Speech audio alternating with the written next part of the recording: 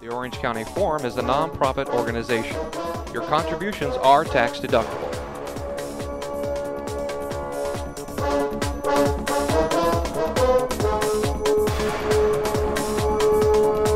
It's my pleasure to introduce candidate for uh, Governor of the State of California, Antonio Villaraigosa.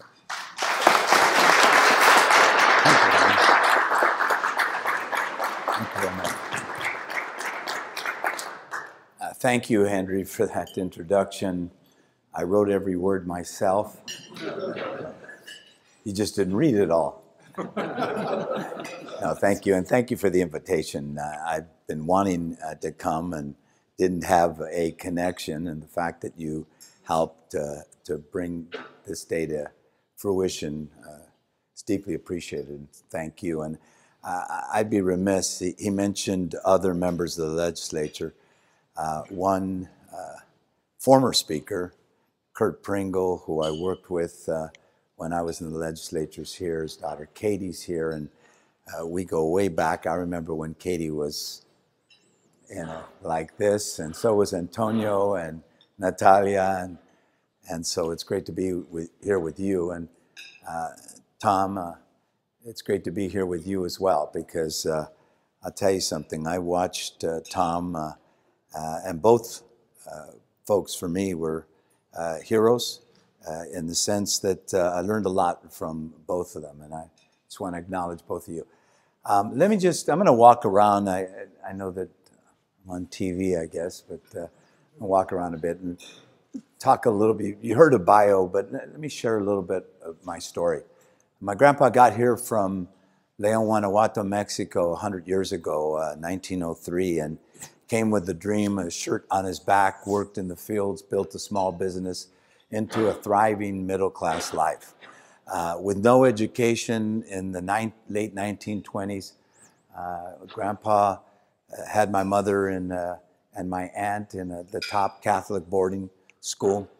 Lost all his money uh, in the Depression, lost his wife, as so many people did back then, you know, struggling to make ends meet. Uh, I tell people I'm here on the shoulders of the greatest generation. Uh, California gave me, and it's given so many of us, uh, the, the dream uh, that we call the American dream, but we distinctly know it here as the California dream. And I, when I talk to people about that dream, I say, you know, uh, you've never heard of the Texas dream as much as they talk about Texas. You've never heard of the Kansas dream or the New York dream or the Minnesota dream. There's only one place that has its own dream, and that's California. And that's because the people who come from all over the world, when they land somewhere in the United States, they come here uh, to reinvent themselves and to live that dream uh, in a way that uh, uh has made California special. Uh, California, as you all know, sixth largest economy in the world, and the folks in Sacramento love to remind us of that. And uh, we've grown faster in 2014 15 uh, than the national economy. We grew more jobs than Texas and Florida combined. What they don't say is that we have one of the highest uh, poverty rates in the United States of America.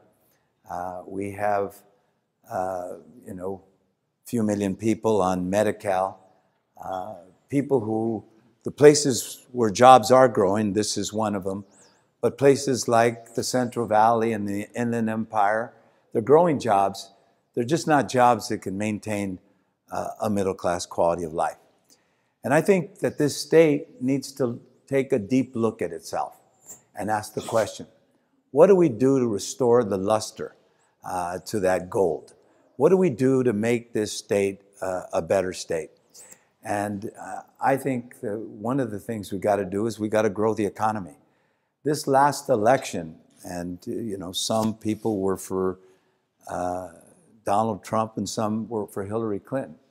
But what's absolutely clear about that election is that not enough of us are focused on the economy, on growing the economy, on addressing the fact that in this state particularly, it's really difficult for small business uh, to grow their business. We have some of the toughest, uh, you know, some of the toughest regulatory framework in, in anywhere in the United States.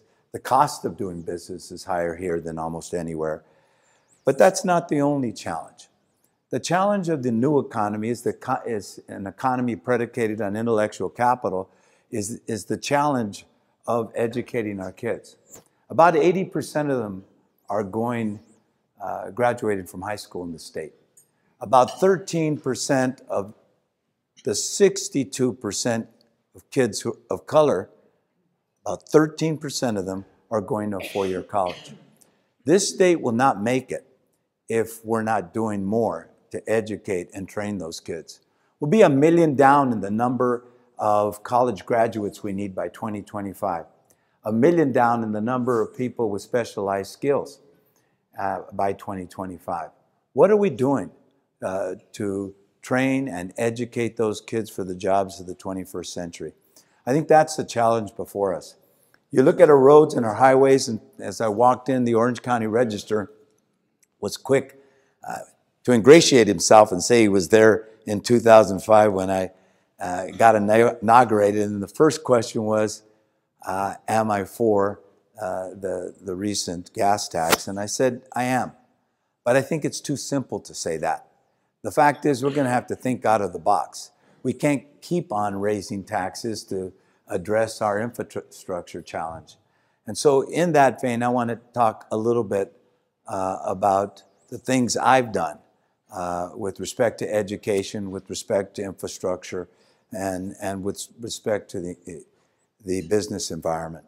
With respect to education, when I was mayor, we had a 44% graduation rate. I said to the, to the city that I love that um, my city wasn't going to make it. LA was not going to make it with a 44% graduation rate. I took on powerful interest in uh, my city.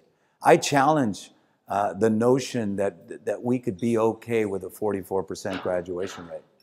By the time I left, that graduation rate had grown to 72%. But more importantly, we had doubled the number of successful schools in Los Angeles. We'd quintupled the number of charters at 800 and above when we were measuring schools, uh, tripled the number of charters overall. We challenged the notion uh, that the school district couldn't improve. We built infrastructure, and I mentioned that infrastructure was important. You know, we didn't just raise taxes, as I said to the reporter a few minutes ago. You know, we did a half penny sales tax. We generated $40 billion over a 30 year period of time, but we figured out we need a lot more than that. So we went to the feds and we said, you ought to reward cities and counties with low cost loans and bonds so that we can uh, expand on what we're doing.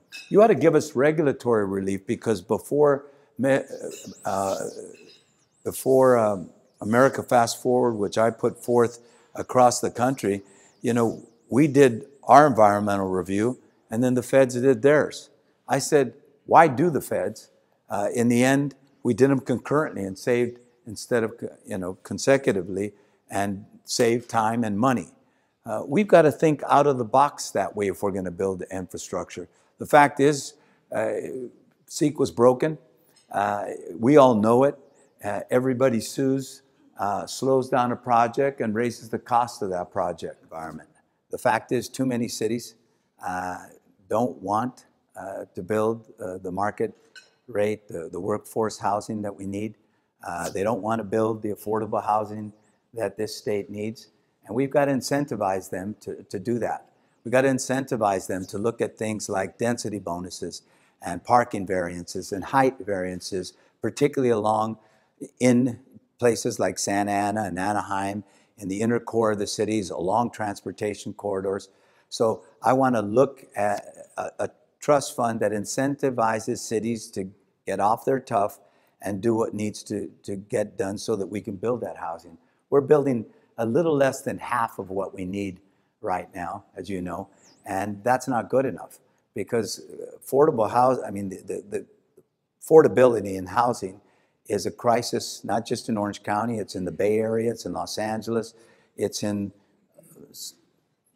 mostly the most affluent parts of the, of the state, but also in even the Inland Empire as well. So uh, putting a Housing Trust Fund together that focuses on uh, incentivizing cities and counties are putting up their own money, who are addressing regulatory relief and uh, the density bonuses, the other uh, things that will expedite the building of housing.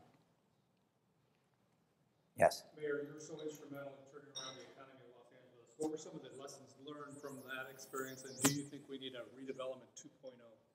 Yes, we do need a redevelopment 2.0. Uh, Curt and I fought for that, and you know, the, in the middle of a recession, the state took away the tools that you needed for economic development and um, uh, you know housing, and uh, I do think we need it. What were some of the things we did? I, I want to take you back for a second because this is Orange County and it's the same metropolitan area. Almost everybody said we were going bankrupt uh, when I was mayor. Uh, the economy hit us like a ton of bricks, the worst economy since the 1930s.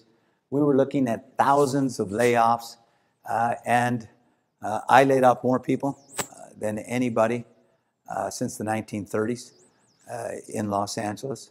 I put current employees on 40 days of furloughs for three years. We did pension reform, uh, some of the most far reaching pension reform in the state. We had current employees who were paying 6%, uh, now paying 11%. Uh, we capped um, retiree health uh, for new firefighters and police officers. Uh, the, the 6 to 11 was for the 37,000 uh, civilian employees. We made it free to open up a business in LA.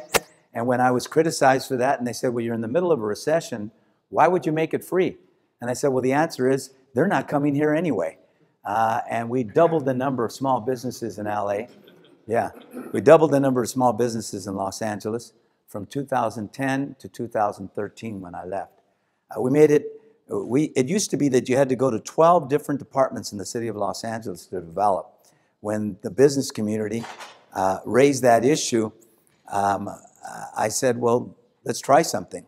So I brought representative from those 12 de- departments into one unit. And uh, I said to them, uh, I'm told that six of you at any given time will have a different position from the other, and they have to hire expediters to figure it out. So what we're going to do here is you're going to be the expediter. You're going to figure it out. Uh, that we took that from 12 departments to one to develop in Los Angeles, getting creepbacks, and now it's two. Uh, but uh, we did a number of things to kind of uh, address a broken economy, as you may have seen. Um, put four and a half billion dollars in the airport, the first, you know, investment in the airport since the Olympics in 1984. Um, we did a billion and a half at the, uh, the port. We built more schools, and I chaired every one of those bonds, more schools than any city in the United States of America. And I don't have to tell you, three light rail lines and one busway. So we were focused on the economy, and the next governor has got to focus on the economy. Uh, we got to build infrastructure. Uh, we got to educate and train our kids. I'm for it. Been for it since 1998. Um, I think if you just, and I know it's, you know, half the people in the state are for it and half the people aren't. In fact, I think this county is mostly not for it. But, um, and same with a number of other counties in the state. But let me tell you what, I, I tell people if you're just looking at high speed rail uh, based on fare box recovery, what you put, how much it costs to build, uh, you know, what you get from the fare box, you, are really not thinking uh, of, of, the possibilities. When I did Measure R and I said, dream with me, I'll build a subway to the sea, uh, you know, everybody laughed. And almost from the beginning, they said, it's never going to happen, it's too expensive. When we put it on the ballot, you know, it's the recession, it takes two thirds vote, you know, it, it, it's never going to happen. Well, it did happen. And what it did was it leveraged economic development downtown along Wilshire Boulevard, uh, you know, in Hollywood. And that's what high speed rail is going to do. It's going to connect the two engines uh, of uh, the California economy, Southern California uh, and, you know, uh, the Bay Area. And it's going to connect to a place where housing is, is affordable uh, the Central Valley, uh, and uh, it's going to be a real engine for economic growth in our state. And so I am for it. I, I do think we need to value engineer it. Uh, by the way, if we're going to build infrastructure, I said we got to incentivize cities and counties to put up their own money. We got to address a broken regulatory framework, and we got to look at public-private partnerships. You know, look, this is the only country in the world that doesn't, that the private sector doesn't participate, uh, or you know, with the government in building airports and build. You, you have uh, somebody I met uh, does the Orange County toll. That was you. I thought it was you. That's why I looked at you. Um, hey, it works. Not perfect, but it works. And we, we, we've got to engage in public private partnerships as well. So we're going to have to value engineer it as much as we can, but it, it's going to be a boon uh, to the Central Valley. It's going to connect housing with uh, two you know, economic engines and, and spread out uh, you know, good high paying jobs throughout the state and not just on the coast. You know, I think the way we have to look at the water issue is, you know, uh, more comprehensively. And let me say a couple of things uh, about water. You know, um, Curt and I, uh, in 1998, agreed to a water bond. And uh, in that water bond, we called for uh, two dams. Um, and uh, since then, and I did it kicking and screaming. Curt was for it. I, I was kicking and screaming because I think most of us understand that underground aquifers is the best way uh, to store water. But uh, there was a deal. We didn't keep it. And that's been part of the problem in this state. Not us that broke the yeah, not us that broke the deal. Thank you very much. not us that broke the deal. Uh, that's been part of the problem. The reason why water, the water issue is such a, at a crisis level is because, uh, you know, there's no trust. Uh, the ag doesn't trust, uh, you know, uh, the coast. Uh, the rural areas don't trust the urban areas. Uh, I tell people, I was on a show called The Water Wars. And, uh, I'm sorry, uh, it was MSNBC special, and it was called The Water Wars and they asked me to come on. I said, why do you call it the Water Wars? You know, on TV. And I said, why do you call it the Water Wars, Chris? And he says, I call it the Water Wars because guys like you, you went to two days watering a week eight years ago. You got killed for it. You saw this coming. You, you reduced your water consumption by 23%, number one American city, over a million. He said, and ag is using uh, 80% of the water, have 20% of the population, Cities have 80% of the population using 20% of the water. And I said, well, you know, I'm not really good at math, but who's eating those fruits and vegetables? and he said, well, he looks at me and he I said, well, the answer is we are. So we're eating and drinking 100% of the water. So I tell people, uh, before we start, uh, you know, pointing fingers at one another, which we've been doing more than not, uh, we got to develop some trust and we got to look at ourselves. LA doubled its recycling from one and a half to three percent. I say this all the time, not just in front of you. Good. I say it in Bakersfield, I say it in Fresno, I say it in San Bernardino. Orange County is doing 35%, 30 something percent. Uh, you know, Israel does 80%. We all got to recycle more. We got to conserve more. Uh, we got to recharge our and clean up our underground aquifers. Uh, we got to say all of the above, everybody. You know, that if you hear one side and they'll say, you know, we should never do desal. Now, most of us know desal is not the answer. There's no one answer, but and their their their criticism of desal is that the power footprint is too big, and it is, and that it takes too long to build, and it does. But why can't we uh, use the technology we have in this state to drive down that power footprint. Uh, why can't we ad- admit that the reason why uh, it takes so long is because you can sue all the way all the way down. CEQA ha- has given you know it's a license to lawsuits, and I'm I'm supportive of CEQA, uh, but I'm I'm just saying we've got to reform it. Uh, we've got to reduce the time that it takes to build it. So, um, with respect to the water issue, uh, people have talked about the two, two tunnels. I've said we're not there yet. You know, the northern, the, the Delta farmers uh, feel, and the north feels like the south is going to take uh, their water away. That's why I started with the word trust. We got to build trust. Uh, if we want a grand bargain on water, we got to acknowledge that ag is important because they feed us uh, and they feed the world. Uh, we got to acknowledge that water is precious, so we all have to conserve it.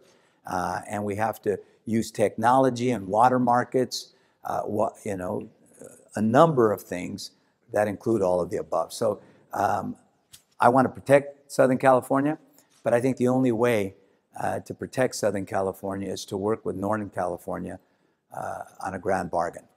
Workforce development. Uh, you just said it. You don't need to be, you don't need to have a BS in engineering uh, to be a coder. Uh, you don't, you don't need a BS in biology to work in the health sciences. We need to identify all of those, the, where the skills gap is, where the industries that have a skills gap. And uh, we need to focus like a laser beam uh, as a state uh, on those jobs. That's what we did in the city uh, of LA. We, we realized uh, really early on, within a few months, that we were training people for all these minimum wage jobs, and there were all these jobs that were open. With just a little more training, we could fill them. And that's what the state's going to have to do. We're going to have to put a dashboard. These are the industries that, that currently, um, uh, you know, have a skills gap. What do we do to fill them? Support the community colleges. I think we we need to bring career technical education back uh, to our high schools. Uh, we need to work more closely with community colleges to do that. Uh, my head of workforce development is now the president of LA uh, Trade Tech, and uh, he's someone that's been a, a real expert in that area. And I think we're going to have to uh, do a, a much better job than we've done in the past. Because a million down in college graduates, but also in people with specialized degrees. We set high standards. Uh, I, I got tired of hearing uh, excuses for failure uh, and tired of hearing people tell me uh, that these that the reason why we had a 44% graduation rate was because we had so many immigrants, so many English language learners, so many foster kids, so many un, uh, homeless kids, uh, and we didn't accept uh, that. So one was setting higher standards. Uh, two, uh, we we focused on instruction, and you know if, if you go into schools, uh, there are a lot of educational leaders, principals, who are really good at making sure the ed code is being enforced. This big, thick book like that, and you know the the, the building's locked down, uh, the trash is picked up, and then if you ask them, "When's the last time you've been in a classroom?" Uh, the answer is, "Well, I haven't been in a classroom very often." So we, we, we said we got to focus on instructional leaders who are uh, going to help, uh, you know, our teachers. Focused on training, a lot more training of our teachers. Uh, we pushed uh, more rigorous evaluation of our teachers. And importantly, we got our parents involved. You know, I didn't mention my background, and I usually do, but and maybe you don't all know it. I grew up in a home of domestic violence and alcoholism, a single mom who raised her kids, uh, rode the bus most of her life, uh, but she'd walk to the projects, to our school, uh, to check in. She participated. So uh, you couldn't, in a public school, force parents to participate.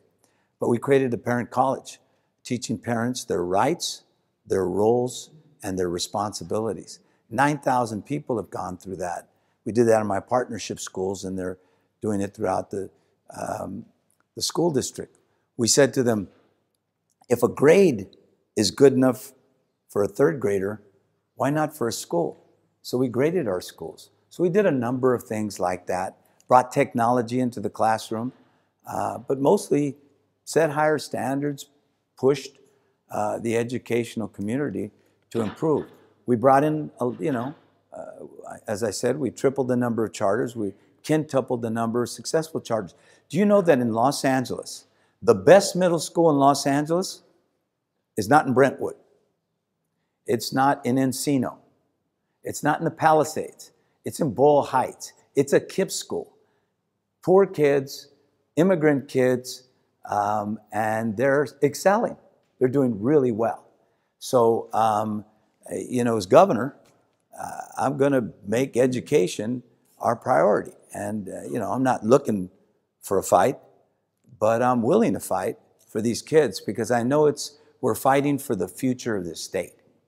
If we don't ensure that these kids get a, a chance to make it, uh, the state won't make it. Not with the number of kids that we're talking about. So, uh, and then finally, on the north south, yeah, I'm going to,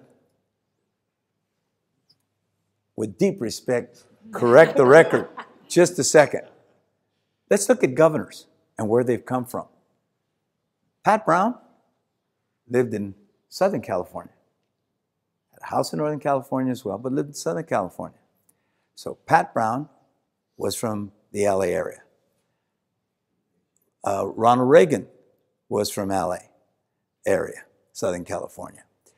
Um, Jerry Brown was an LA Community College trustee when he announced for governor, also Los Angeles. Uh, Deukmejian was from Long Beach, Southern California. Uh, Pete Wilson was from San Diego, Southern California. Gray Davis was from LA, Southern California. And um, Arnold Schwarzenegger was from Southern California. So, yes, they usually dominate when it comes to the Senate and other statewide uh, electeds, but not for governor. That's why Orange County is important to me.